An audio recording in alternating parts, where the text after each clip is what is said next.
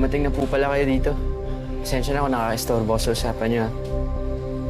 Gusto ko lang sabihin, sir, condolence ho. Salamat, Mendoza. Sige, mauna na ako. Sige, sir. Sige, sir. Sir!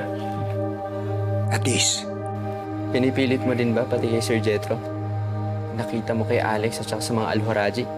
Hindi ko pinipilit sa'yo, Michael, ang nakita ko.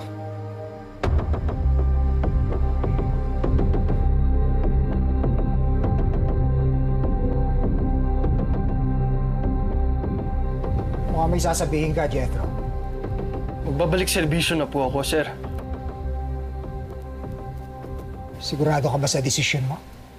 Siguradong sigurado po, sir.